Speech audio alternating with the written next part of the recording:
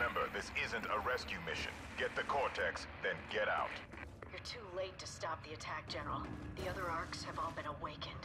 Cross? Archer said you were dead. The rest of us can still get out of here alive. If we work together. You again. This is all your fault. You should have killed Cross when you had the chance. Secure the Cortex and haul ass back to the surface, now! Listen to me. Is a geothermal reactor. In five minutes, the ancestors will be done defrosting and you'll be dead. Unless you do exactly as I say. She's lying! The reactor draws heat from an active volcano right under your feet. The only chance is to overload the system and trigger a meltdown. Don't listen to that witch! She's one of them! Use the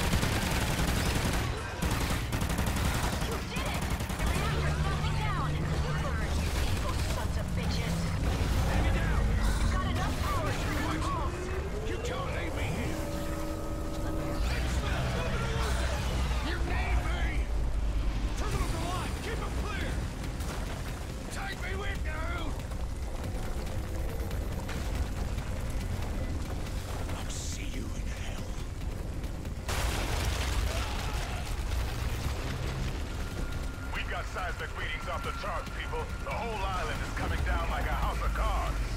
Get back to the cavern entrance!